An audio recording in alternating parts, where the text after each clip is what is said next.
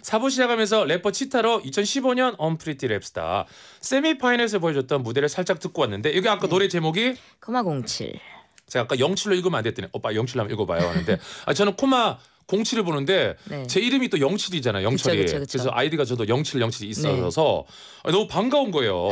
근데 많은 분들이 치타면 떠오르는 게 이게 아까 코마 07. 그쵸. 예. 네. 이걸 많이 꼽더라고요. 어 저는 노래가 꽤 길게 나오는데 조금만 더 가면은 아 그게 여러분 혹시 보는 라디오 보시는 보셨는지 모르겠지만 제가 계속 자꾸 저한테 오빠 노래를 내려- 이제 이렇게 그래 내- 꺼야 지금 된대. 내려야 되는데 나는 근데- 무슨 신인지 못 끄고 갔다가 자기가 어 하는데 삐라니까 그왜왜휴한 거예요? 약간 거기 이제 비속어들이 어. 들어가 있기 때문에 이게 아침 라디오에 나와도 되나 혼자 막 너무 여러분 너무 폭, 폭주 기관차처럼 너무 곡이 그냥 진행이 계속되는 거예요. 정말 저 생방을 함께 하는데 혼자 할 수 있는 연기는 다 안절부절 이건 연기와 사고 위태 이건 위태 사고예요. 이건 뭐 사고야. 잠깐만. 횡설수설 연기를 다 잠깐, 했었어요.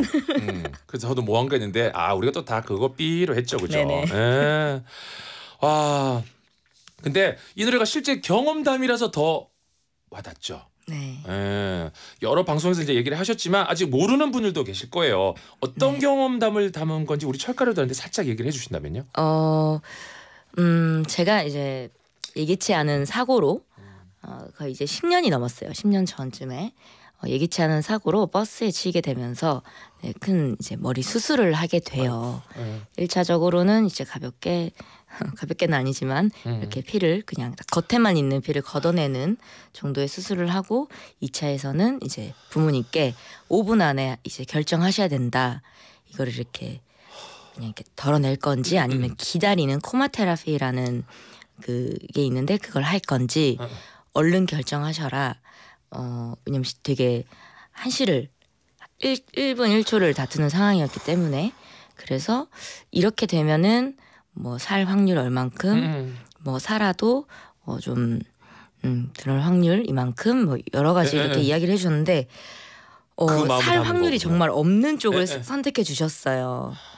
어, 네, 막 이렇게 그 이후에도 이제 목을 이렇게 뭔가 이렇게 뚫, 뚫는다 그러죠. 음, 이렇게 뚫어서 이렇게 할 거냐, 더 할 거 하실 거냐라는 그런 질문에도 우리 은영이는 노래를 해야 되고 이게 삶인 아이라 어, 하면서 네 정말 어, 어. 정말 제 인생을 구, 구한 그 인생인데 부모의 부모의 선택이라는 단어가 나오잖아요. 좀 전에도 말씀해 주셨지만 네. 아, 그 단어가 참 뭉클했어요. 부모의 단어. 예. 정말 대단하신 어, 그랬죠.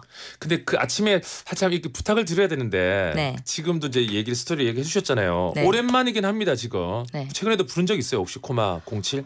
어, 요, 아니요 최근에 부른 적 없어요. 요 한 부분 우리 오늘 지금 1위를 달리는 기염을 토한 기념으로 네네네. 검색어 포털 사이트 치타 1위니까 네. 예, 예. 세렝게티를 누르고 근데 어, 어쨌든 제가 코마 공치를 어, 썼던 이 궁극적인 목표는 이런 아픔을 딛고 또 어, 달려가는 내가 있다. 난 절대 어, 추락하거나 어허. 넘어지거나 다, 그래도 다시 일어난다.